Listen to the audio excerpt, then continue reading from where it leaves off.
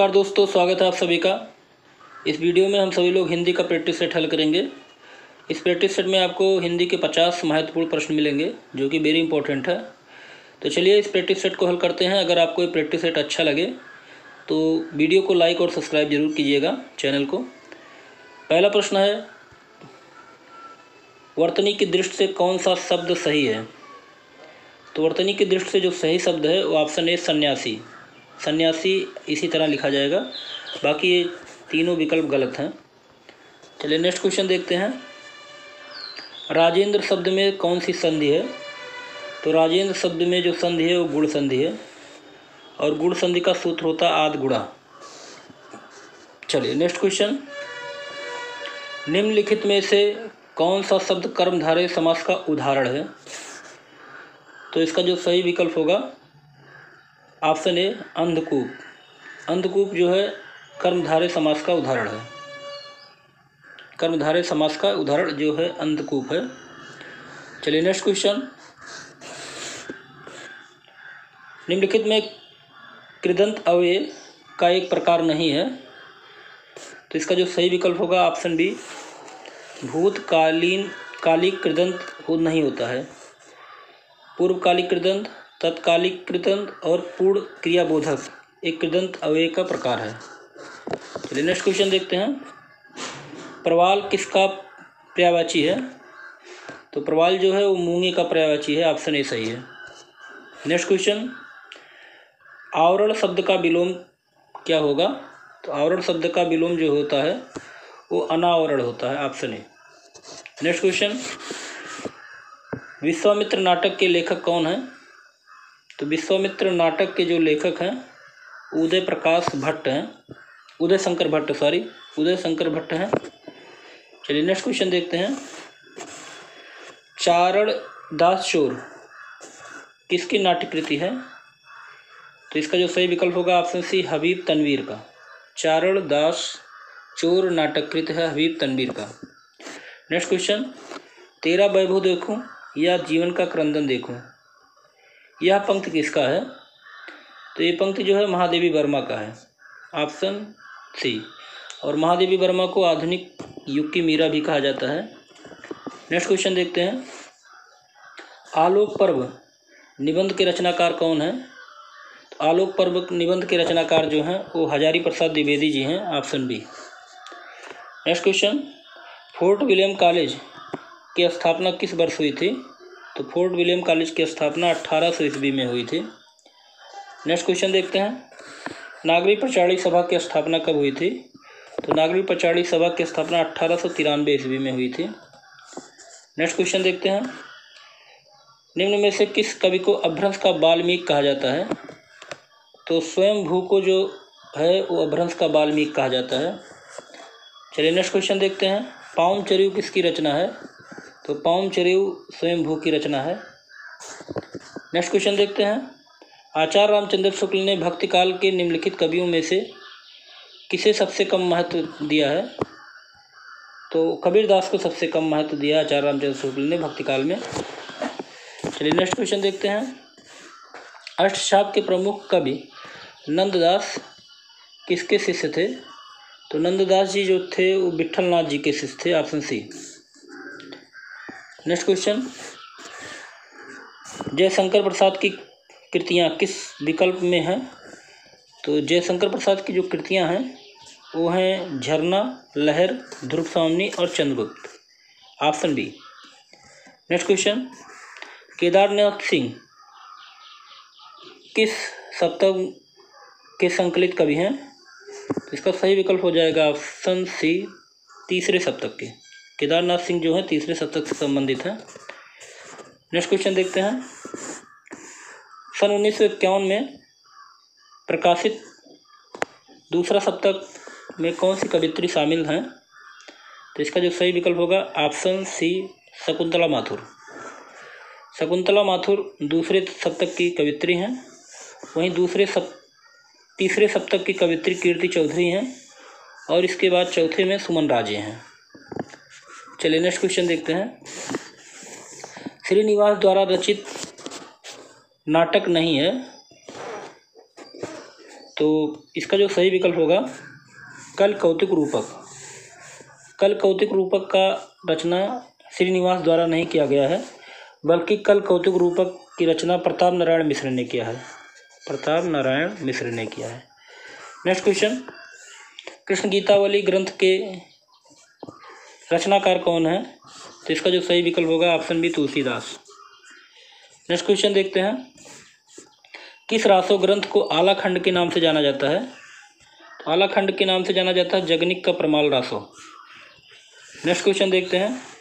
पंडित चंद्रधर्म शर्मा गुलेरी ने किसको पुरानी हिंदी का प्रथम कवि स्वीकार किया है? तो पंडित चंद्रधर शर्मा गुलेरी ने पुरानी हिंदी का प्रथम कवि राजा मुंज को स्वीकार किया है। नेक्स्ट क्वेश्चन प्रगताभास हिंदी से क्या आशय है? तो प्रगताभास हिंदी से आशय है अभ्रंश से।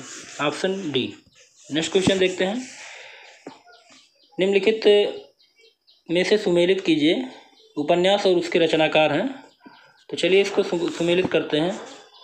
अलमा कबूतरी जो उपन्यास है, वो मैत्री पुष्पा का है। अलमा कबूतरी मैत्री पुष्पा का है। और छप्पर जो है जयप्रकाश करदम का है। मुक्त पर्व जो है, वो मोहन दास न मिश्राय का है और आवा जो है, वो चित्रा मुदगल मुदगल का है। तो इस तरह से उपन्यास और रचनाकार का मिलान हो गया। चलिए नेक्स्ट क्वेश्चन देखते हैं। सूरदास प्रेमचंद जी के किस उपन्यास के मुख्य पात्र हैं? तो सूरदास जो प्रेमचंद जी के मुख्य पात्र हैं, वो रंगभूमि में हैं। ऑप्शन डी, नेक्स्ट क्वेश्चन, साधना गद्य काव्य किसने लिखा?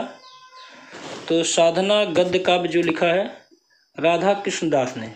ऑप्शन ए, चलिए नेक्स्ट क्वेश्चन देखते हैं। चीड़ों पर चांदनी किसका यात्रा वृत्तांत है? तो चीड़ों पर चांदनी जो यात्रा वृत्तांत है, वो निर्मल वर्मा का है। ऑप्शन सी, चलिए नेक्स्ट क्वेश्चन देखते हैं। पड़ोस की खुशबू यात्रा वृत्त के लेखक कौन है? तो इसका जो सही विकल्प होगा ऑप्शन बी रामदरस मिश्रा। पड़ोस की खुशबू यात्रा वृत्तांत के लेखक रामदरस मिश्रा हैं। नेक्स्ट क्वेश्चन निठल्ले की डायरी नामक हास्य व्यंग के लेखक कौन है? तो निठल्ले की डायरी नामक हास्य व्यंग निबंध के लेखक जो हैं, निबंध संग्रह के लेखक जो हैं, वो है Harishankar Parsai ji option D next question Madhumalti के रचनाकार कौन है? तो मधुमालती के रचनाकार मंझन है। ऑप्शन ए नेक्स्ट क्वेश्चन इनमें से जायसी की कौन सी रचना नहीं है? जायसी की जो रचना नहीं है, वो चित्रावली है। आखिरी कलाम, अखरावट और पद्मावती जायसी की रचना है। चित्रावली जायसी की रचना नहीं है, बल्कि ये उस्मान की रचना है। उस्मान। चलिए नेक्स्ट क्वेश्चन देखते हैं। देहाती दुनिया के रचनाकार कौन है? तो देहाती दुनिया की रचनाकार शिव पूजन सहाय जी हैं। नेक्स्ट क्वेश्चन देखते हैं। निम्न में से हिंदी साहित्य का अतीत किसने लिखा? तो हिंदी साहित्य का अतीत लिखा आचार्य विश्वनाथ प्रसाद मिश्रा ने। नेक्स्ट क्वेश्चन देखते हैं। निम्न में कौन सी रचना नागार्जुन की नहीं है? तो नागार्जुन की रचना ये नहीं है, मैं तुम्हें सौंपता हूँ। ये रचना नागार्जुन की नहीं है, बल्कि इसको लिखा त्रिलोचन शास्त्री ने, त्रिलोचन शास्त्री ने। ठीक, बाकी तुमने कहा था, प्यासी पथराई आके और युगधारा, ये नागार्जुन की रचना है। नेक्स्ट क्वेश्चन देखते हैं। सबसे बड़ा सिपहिया के रचनाकार कौन है? तो इसका जो रचनाकार है, वो वीरेंद्र जैन है। Option A. नेक्स्ट क्वेश्चन देखते हैं। भविष्यत कहा के रचनाकार कौन है? तो भविष्यत कहा के रचनाकार धनपाल हैं। Option C. नेक्स्ट क्वेश्चन देखते हैं। मछली घर नामक काव्य संग्रह के संपादक कौन है? तो इसका जो सही विकल्प होगा option B Vijay Dev Narayan Shahi next question भाषा निबंध। मत मंजुल मात नोति भाषा निबंध मत मंजुल मात नोत किस कवि द्वारा रचित श्लोक का अंश है? तो इसका जो सही विकल्प होगा ऑप्शन सी तुलसीदास। चलिए नेक्स्ट क्वेश्चन देखते हैं। सही युग्म चिन्हित कीजिए। तो ये जो यहाँ रीत वैदर्भी रीत, गौड़ी रीत, पांचाली रीत तो यहाँ पर जो सही है, वो ऑप्शन ए वैधर्वी रीत में माधुर गुण प्रधान मिलता है। बाकी गौड़ी रीत में माधुर नहीं मिलता है, ये तीनों गलत हैं। ऑप्शन ए सही है। नेक्स्ट क्वेश्चन देखते हैं। आचार मम्मट ने काव्य गुण कितने माने हैं? तो आचार मम्मट के द्वारा काव्य गुण जो माने गए हैं, वो तीन माने जाते हैं। मम्मट ने काव्य में तीन गुण माने हैं वो गुण प्रसाद गुण और माधुर गुण चलिए, अगला प्रश्न है, भरत मुन ने गुणों की संख्या कितनी मानी है? तो भरत मुन ने गुणों की संख्या दस मानी है। नेक्स्ट क्वेश्चन देखते हैं। रस निष्पत्ति की विवेचना, भाकत और भोजकत की कल्पना किस आचार्य ने की है? तो इसकी जो कल्पना की है भट्ट नायक ने की है। ऑप्शन बी नेक्स्ट क्वेश्चन और भट्ट नायक ने साधारणीकरण सिद्धांत भी दिया है। चलिए नेक्स्ट क्वेश्चन देखते हैं। प्रयोजनवती लक्षणा का भेद नहीं है। तो प्रयोजनवती लक्षणा का भेद जो नहीं है, वो रूढ़ा नहीं है ऑप्शन ए सरूपा होता है, शुद्धा होता है, गौड़ी होता है, लेकिन रूढ़ा नहीं होता ऑप्शन ए सही है।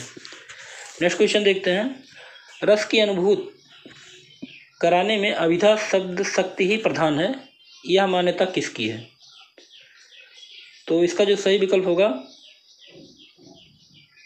ऑप्शन बी भट्ट नायक रस की अनुभूत कराने में अभिधा शब्द शक्ति ही प्रधान होती है या भट्ट नायक ने कहा है। चलिए नेक्स्ट क्वेश्चन वैज्ञानिक शैली का तात्पर्य किस शैली से है? तो वैज्ञानिक शैली का तात्पर्य वस्तुनिष्ठ शैली से होती है। ऑप्शन बी, सही है। चलिए नेक्स्ट क्वेश्चन देखते हैं। क्वेश्चन नंबर सैंतालीस। बिहारी हिंदी का विकास किस प्राकृतिक अभ्रंश से माना जाता है? तो मागधी अभ्रंश से बिहारी हिंदी का विकास माना जाता है। नेक्स्ट क्वेश्चन देखते हैं क्वेश्चन नंबर अड़तालीस। हिंदी खड़ी बोली किस अभ्रंश से विकसित हुई है? तो हिंदी खड़ी बोली जो विकसित हुई है, सौर सैनी अभ्रंश से ऑप्शन सी नेक्स्ट क्वेश्चन देखते हैं, खड़ी बोली का दूसरा नाम क्या है? तो खड़ी बोली का जो दूसरा नाम हो, कवरुई है। नेक्स्ट क्वेश्चन कौरुई भाषा का उदय किससे हुआ? तो कौरुई भाषा का जो उदय हुआ था, पश्चिमी हिंदी से हुआ है। इस टेस्ट के पचास प्रश्न पूरे होते हैं। तो आपको ये टेस्ट सीरीज़ कैसी लगी? अगर अच्छी लगी हो प्रेटिस सेट तो आप चैनल को लाइक और सब्सक्राइब ज़रूर कीजिएगा। अगले प्रैक्टिस सेट में फिर मिलते हैं। तब तक के लिए जय हिंद।